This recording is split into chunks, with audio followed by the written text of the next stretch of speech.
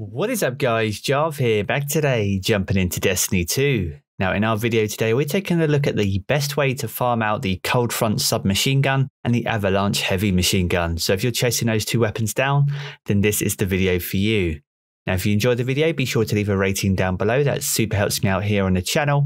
And if you're new around here, want to keep up to date with all the latest Destiny 2 content, then you're in the right place, and be sure to hit subscribe as well.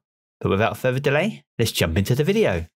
So first things first, as always, what is the Cold Front? This is an aggressive frame submachine gun with high damage and high recoil. I had one drop with Feeding Frenzy, where kills with this weapon increase the reload speed for a short time, alongside Vorpal Weapon, which increases damage against bosses, vehicles, and guardians with their super active. So not the greatest roll as you can see, which is why it's worth farming this one out.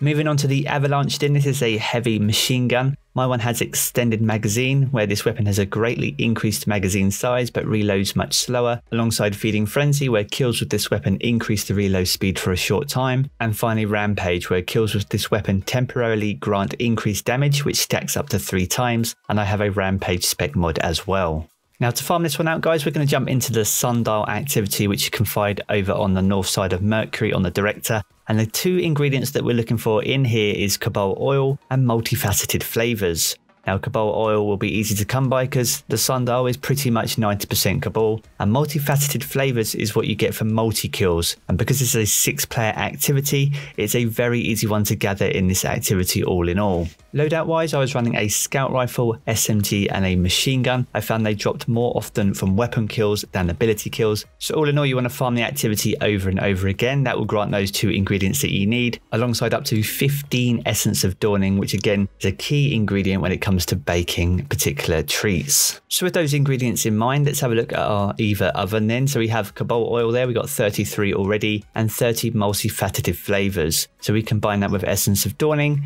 we have ourselves a hackberry tart. Now with that ingredient now discovered, we can quickly create these by using the option down here. And you basically just want to create as many hackberry tarts as you can. All in all here, I'll be able to create roughly 11 hackberry tarts. But once you've created as many as you can, we are going to jump over to the tower and we're going to visit our friend Benedict, who you can find over in Annex. So once here, we're going to hand in all our treats to Benedict. What we're looking for here now is a gift in return. You'll get a few trash blue items, but then aside, you should get one or two gifts in return. Now, once you've handed in all your treats, you want to head over to your inventory and here you'll be able to find those gifts themselves. So if we open these ones up, so we've got an avalanche on our first one.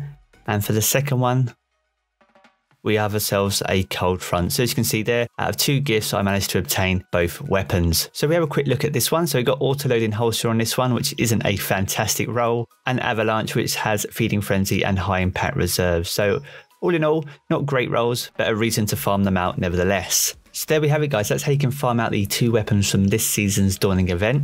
I hope you have found the video useful. If you have, be sure to leave a rating down below, that super helps me out here on the channel. And if you're new around here, want to keep up to date with all the latest Destiny 2 content, then be sure to hit subscribe as well.